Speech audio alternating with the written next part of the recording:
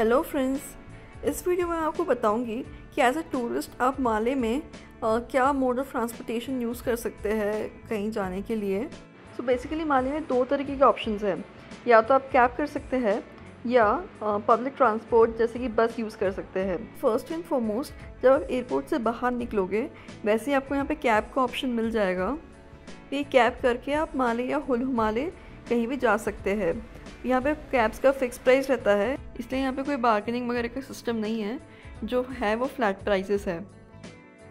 यहाँ पे ऐसी बसेस भी चलती है जो आप पीछे देख रहे हो, वो भी आप ऑप्ट कर सकते हो। उसको कैसे यूज़ करना है वो मैं आगे वीडियो में बताती हूँ।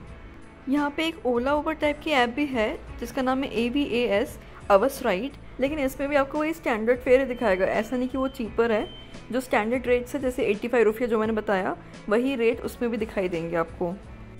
अगर आप कैब करते हैं तो make sure you have enough cash with you क्योंकि जनरली वो लोग पेमेंट कैश में एक्सेप्ट करते हैं। चलिए, ये हुई कैब की बात। अब मैं आपको बस का ऑप्शन बताती हूँ। अगर आप बस में ट्रैवल करना चाहते हैं तो सबसे इंपॉर्टेंट चीज़ है कि आपके पास कोई तो कार्ड होना चाहिए credit card forex card whichever card और उससे भी इंपॉर्टेंट चीज़ है कि उसमें टैप इनेबल करना ना भूलें। टैप इनेबल उसमें होना चाहिए, तभी आपको टिकट मिल पाएगी। क्योंकि वो जो मशीन उनके पास रहती है उसमें चिप ट्रांजेक्शन या इंसर्ट वाला ट्रांजेक्शन नहीं होता है। वो टैप करते हैं उस मशीन पे, तभी आपको ट्रांजेक्शन कंप्लीट होता है। So make sure you have tap enable in your card अगर आप सोचोगे कि हम कैश में पे कर देंगे तो नहीं, वो कैश एक्सेप्ट नहीं करते हैं। आपको कार्ड से ही पेमेंट करना होता है। और बस जो है, काफ़ी चीपर ऑप्शन है एज़ कंपेयर टू कैब क्योंकि जैसे अभी अगर आपको माले से होलमाले जाना है तो अराउंड फाइव टू टेन रुपया लगता है पर पर्सन और जबकि कैब में आपके एट्टी फाइव रुपया लग जाता है। और बस भी काफ़ी कंफर्टेबल लगी मुझे। लाइक कंप्लीट एसी बस है और भीड़ भी बिल्कुल नहीं है। पॉपुलेशन ही कितनी है वहाँ पे। और डबल डेकर बस रहती है तो आप ऊपर अगर बैठोगे अपर डेक पे तो बहुत ही अच्छा व्यू आता है। कैब में उतना मज़ा नहीं आता जितना कि बस से देखने में मज़ा आता है। बस का रूट आप ऑनलाइन डाउनलोड कर सकते हो और बस की फ्रीक्वेंसी 15 टू 30 मिनट्स की रहती है। अगर आपको एयरपोर्ट से माली या हुलहुमाले जाना है तो max to max ticket I think twenty रुपया है वहाँ पे।